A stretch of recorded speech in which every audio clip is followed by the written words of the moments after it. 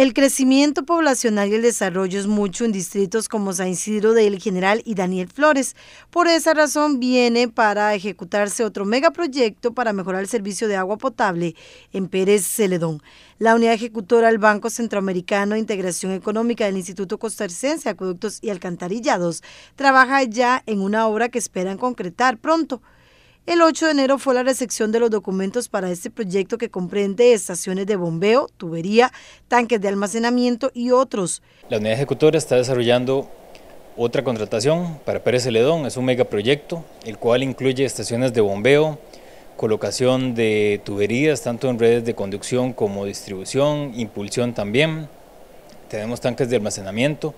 Esta licitación es la 2000, 2023 LI 000015 eh, de la institución, eh, el código de la IA es el 214, entonces eh, este proyecto va a venir a complementar toda la inversión que ha estado haciendo la institución en, el, distrito de San Isidro para garantizar efectivamente la calidad y presión en todos los sistemas, esto básicamente son estaciones de bombeo que van a venir a garantizar agua en todas las partes eh, altas de la periferia de, eh, del Valle del General. La inversión es de unos 10 millones de dólares con los cuales se espera ampliar los servicios. Este proyecto tenemos, eh, ahorita tenemos un presupuesto que ronda los 10 millones de dólares.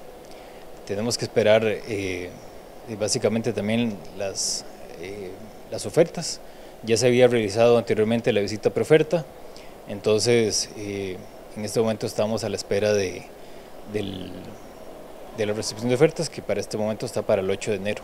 Eso es más que todo para los distritos centrales, ¿verdad?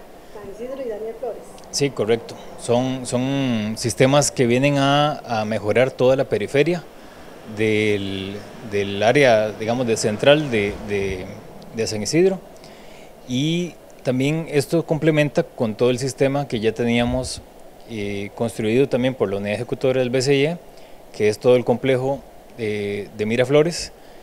Parte del agua que viene de la toma de, eh, del río Chirripó, que va a la planta Miraflores, parte del agua va a, complementarse con este sistema que estamos en este momento licitando. Este proyecto es parte de un paquete de obras que esperan concretar. Esto es parte de las mejoras que tiene eh, la institución en los diferentes eh, cantones del país. Son eh, mejores desde el punto de vista operativo.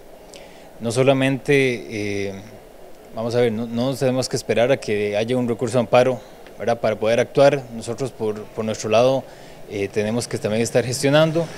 Estos son proyectos que ya tenían una factibilidad, una factibilidad desde el año 2014, 2015.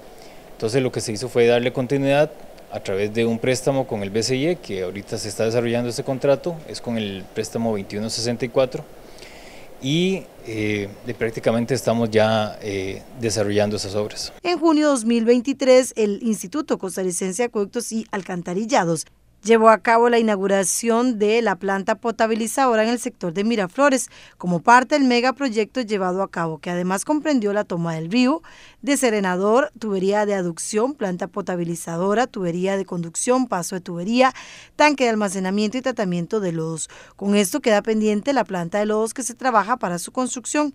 En el proyecto se invirtieron más de 5.819 millones de colones y beneficia a 125.000 personas por los próximos 20 años.